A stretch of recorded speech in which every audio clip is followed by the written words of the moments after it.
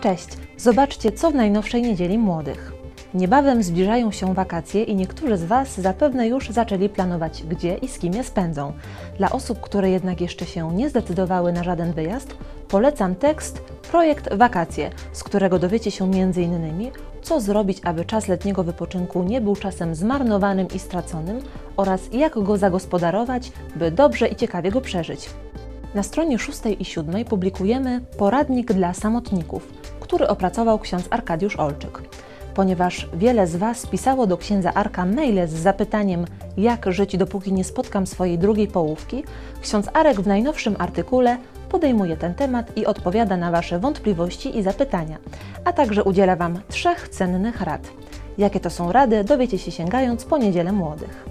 W dziale Nie przegap publikujemy dla Was informacje dotyczące rekolekcyjnego spotkania młodych w Niepokalanowie oraz propozycje spędzenia wakacji z wartościami, które organizuje Katolickie Stowarzyszenie Młodzieży. Bliższe informacje zamieściliśmy w tekście na stronie 8.